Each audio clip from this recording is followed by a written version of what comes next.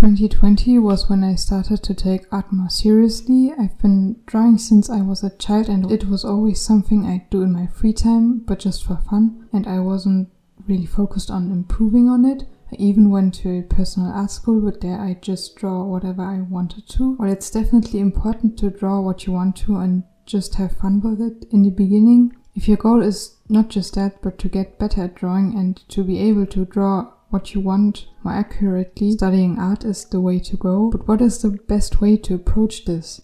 How do you study art the best and most effective way so it fits your own personal goals? How much do you need to know and how much time should you spend on this? This video should provide you with some answers. First, where do you even get your information? For me, I learn from YouTube because there's tons of content here. I study animation at college, but my art knowledge comes from YouTube videos. All the things I learned about art or animation in university were things I already knew about and also found on YouTube. So to me, it seems completely possible to learn about art this way, except for the practical experience of working on a project. But if you want something more in depth or structured, there are also a lot of online courses, or you can also go to art school if you want to. But for me, I'll stick to YouTube.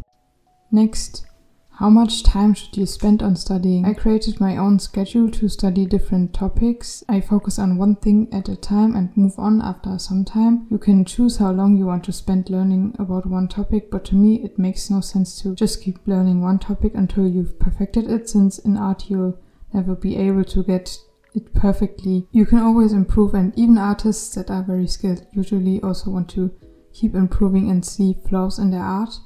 And very basics of learning art are about the fundamentals like form, perspective, and so on. I created playlists with different videos from different artists for each of those fundamentals to study them. And what I do is I watch a few videos per day, not too much, since I also have to balance mm. university work and own projects where I apply what I learned as well. Don't overwhelm yourself, which can result in burnout and loss of motivation, but also, especially if you're studying art on your own, know that it's your own responsibility to take some time in your day for studying. Here I quickly show my own Notion calendar and what I do is I have around 30 minutes to 1 hour of video material per day. And it takes me 1 to 2 hours to get through those since I draw along, stop the video sometimes and take notes. And you see that on some days I don't have any of the videos scheduled. That is because I leave some time in the morning in my daily routine for studying art and there are some days where I have to away for university and so on. On those days I don't watch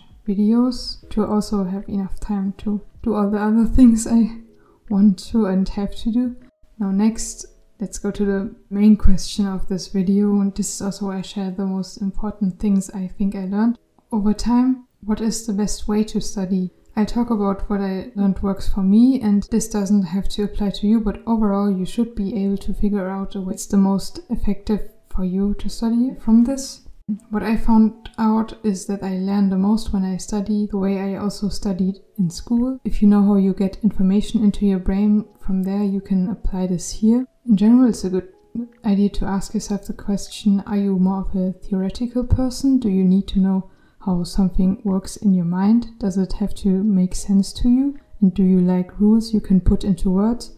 Or are you more of a practical person? Do you need to really experience something and do it yourself to understand how it works? Answer this question for yourself, but you should also include both things when studying art. You can just adjust the ratio depending on what you find most effective for yourself. For me, I'm more of a theoretical person in general. I used to write long study notes and just go through notes in my head, and I would often just learn the rules instead of, for example, in math doing lots of practice exercises or in English writing texts myself and apply to art.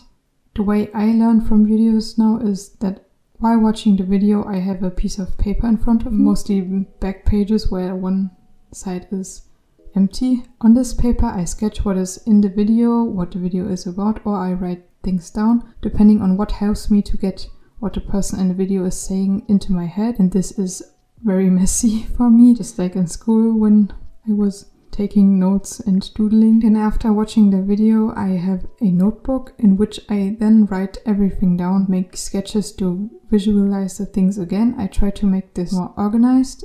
It mostly doesn't turn out that way though, but at least I use different colors here. And I write down all the things I want to take from the different videos I watch in there.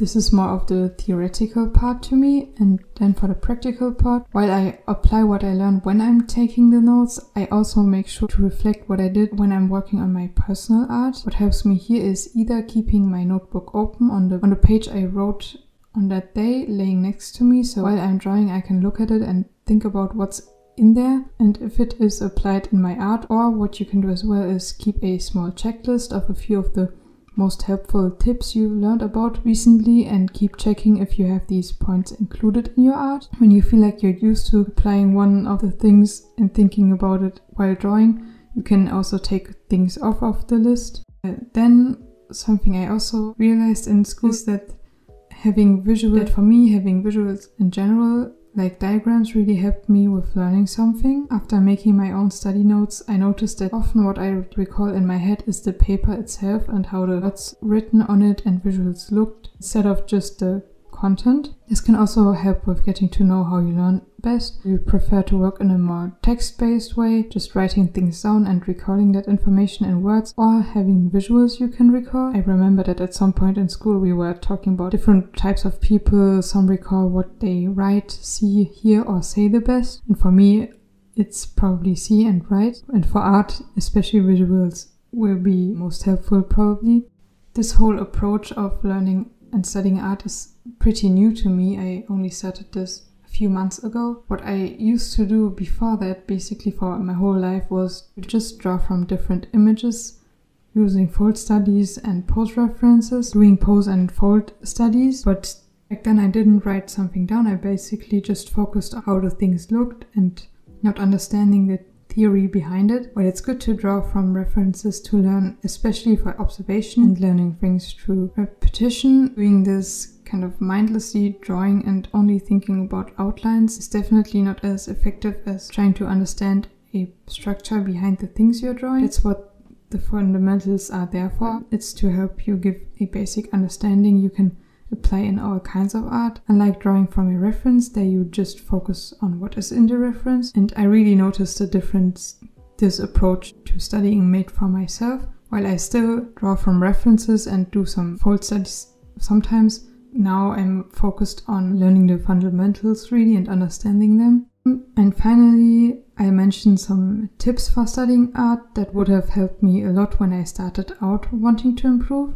If you're also using YouTube like me, or maybe you have art books and sources from the internet, I'd recommend first going through many kinds of artists for the topic you're studying and then choosing which artists you like the most and whose art you think is close to what you want your art to look like and apply especially what you learned from them. In Notion, I have the videos in my calendar and if the video is especially helpful to me, I mark it so I can come back to it. And for example, when you're going through many eye tutorials, you can find the one that fits to the way you want to draw eyes or similar to it and focus on learning from this artist and Next tip, you don't have to include everything you learned, just take what you want and find helpful for your own art. I found that there's a difference between the general rules like the fundamentals. For example, when you have symmetry, most artists want to be able to draw nice looking people and symmetry applies to all kinds of styles here. A symmetrical face will look nicer to the human eye most of the time. But then on the other side there are stylistic choices like how big are the eyes and how are they placed. For this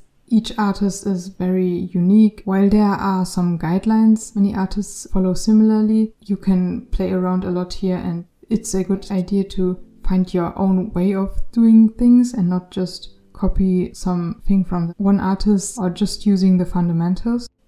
Next, I found that it's often small tips that can really help in the long run. Adding up all the small tips and remembering them by applying them is what leads to improvement. Often, when you draw, it's about how many of the tips you can keep in mind and apply for your own art. For example, for the body for me, I started out with really only focusing on the outline. Then I learned that the head and upper body are around as long as the legs. I implemented that every time I drew bodies. Next, I learned about how the upper and lower arm or the upper and lower leg are around the same size. And then that the elbows tend to be around where the waist is standing in a very generic pose and the hands are slightly lower than the hips. Then I learned about using guides or shapes for the torso and lines for the arms and over time you're just building more and more on top of each other and applying it which then leads to improvement in your art.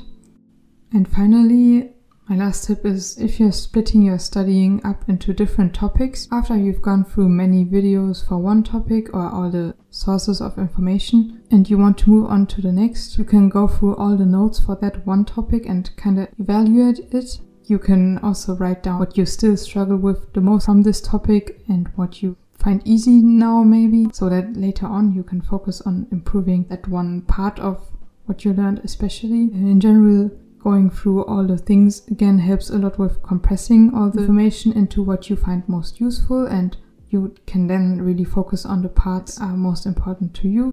I plan to do this by also sharing what I learned about the different topics and fundamentals in videos. I want to summarize what's most helpful to me and teach it to others to also understand those things better. Overall, what I plan to do is go through all the videos and the playlists I created and learn from them. And then I want to share the most helpful things to me by also referring to the artists I learned from. If you're interested in hearing these things, you can look forward to this series I plan on doing throughout this year. I hope this video was helpful to you and I wish you a good time on your art journey. Thanks for watching the video and have a great day.